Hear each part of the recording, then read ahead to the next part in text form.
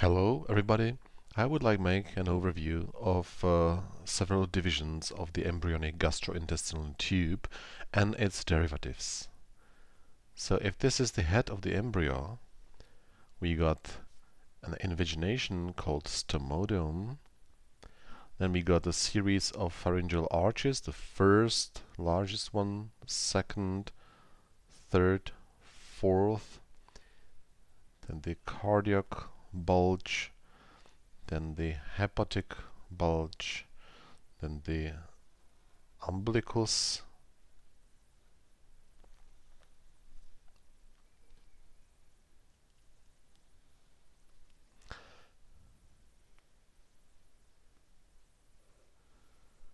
and here will be the dorsum.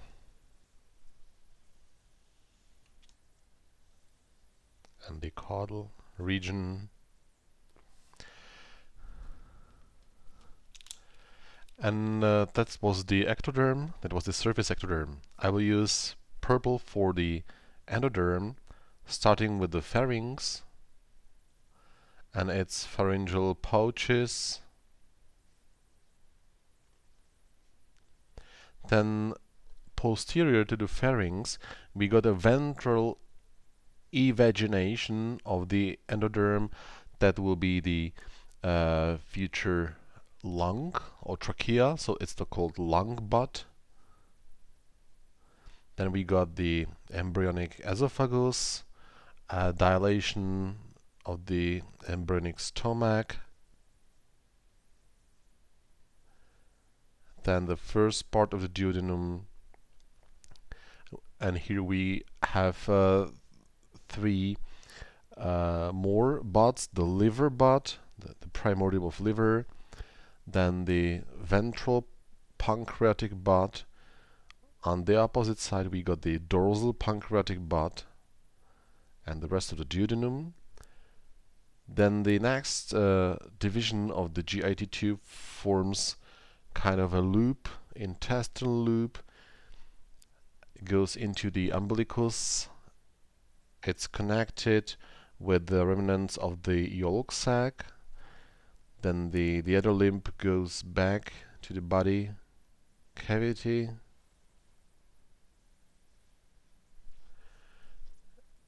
And here we gradually come to the posterior part of the gut. The terminal uh, division is the cloaca, the common part of the GIT and uh, urinary and genital systems. Then we got a blindly ending projection called allantois that uh, goes towards the umbilicus. And here is the posterior division of the gastrointestinal tube. Now each part of the tube has some dominant artery, which are these arteries are branches of the dorsal aorta. So the region of the foregut is uh, primarily supplied by the celiac trunk while the second division, the midgut, is predominantly supplied by the superior mesenteric artery, which actually forms an axis of this intestinal loop and its future rotation.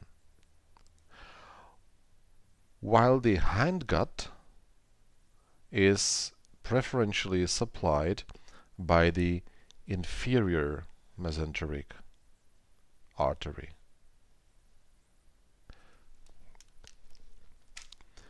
The gut tube hangs on a mesenteries. It's the dorsal mesentery which is present in whole extent here. And it connects the gut tube to the posterior body wall. And it's also a small much smaller and only temporary ventral mesentery in the region of the stomach and the hepatic and pancreatic uh, buds dorsal mesentery. So let's label the scheme. We got the st ectodermal stomodeum,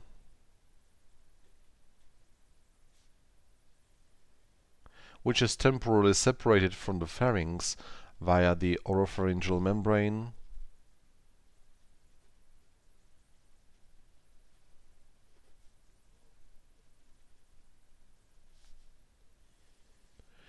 that will per be perforated.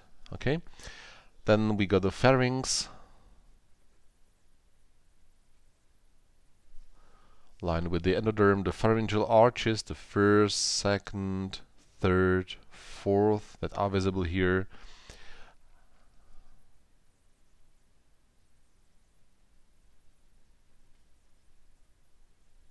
Pharyngeal arches.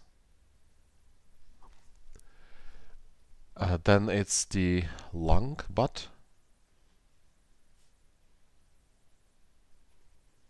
Primordium of the trachea and lungs. the esophagus.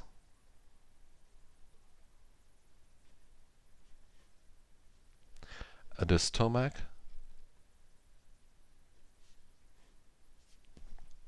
And the liver bud.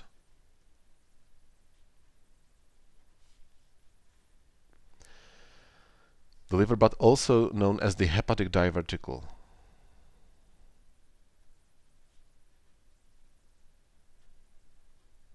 The same. Actually, it forms the border between uh, the foregut and the midgut. So what is cranially from the liver bud, it's the foregut, the foremost part of the gastrointestinal tube.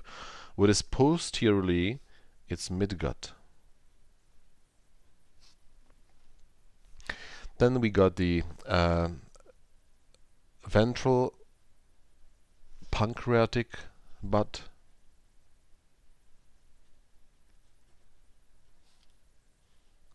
And on the opposite, there is the dorsal pancreatic bud.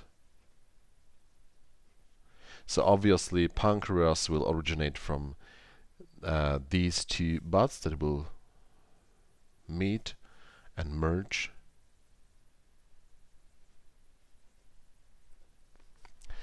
Then there is the uh, intestinal loop.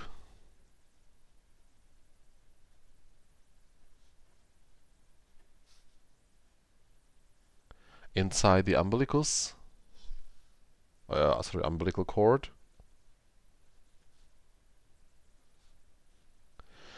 The intestinal loop is connected to the remnants of the yolk sac,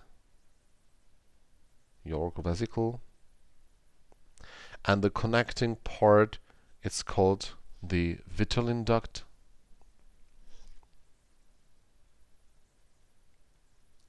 or omphaloenteric duct.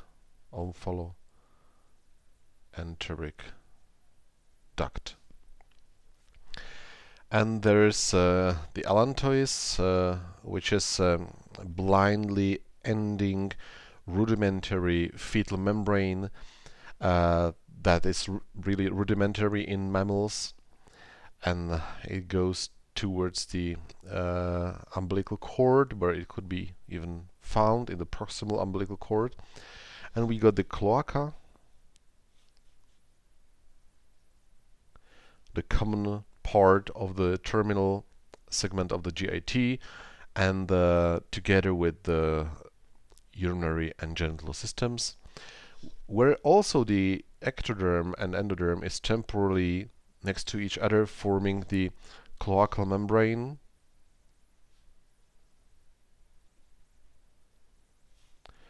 But it also breaks up later on. So um, and this is the region of the hindgut. That's the third, third uh, division of the tube. Foregut, midgut, and third is the hindgut. Let's label the arteries. That's the dorsal aorta and the celiac trunk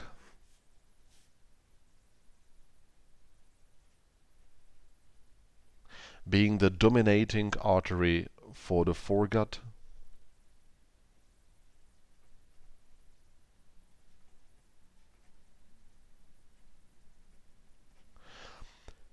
The superior mesenteric artery um, supplying the midgut and the inferior mesenteric artery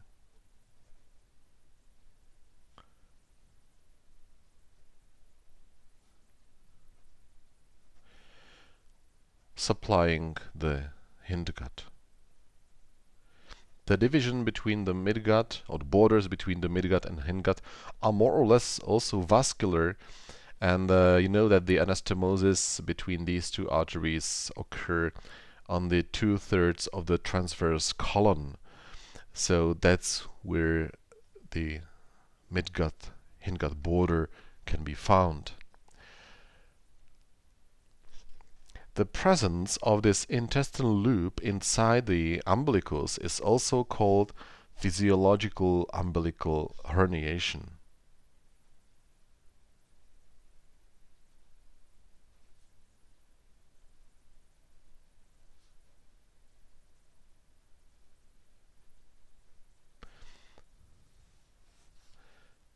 which occurs between week 6 to 10. So it's perfectly normal in in this time to have part of the intestinal loops outside the body, but they will need to return back to be pulled back before the region of the umbilicus really will be closed. Otherwise, they will be trapped outside. So they need to get back into the body uh, before uh, the, the, the week 10. Let me also label the uh, dorsal mesentery.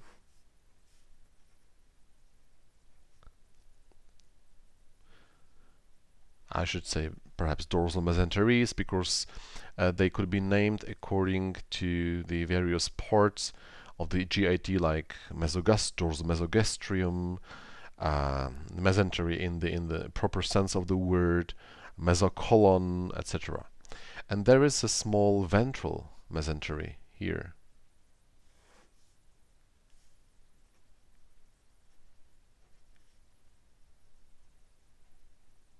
in a much smaller extent. In next schemes we will go through the various parts of the divisions of the gastrointestinal tube.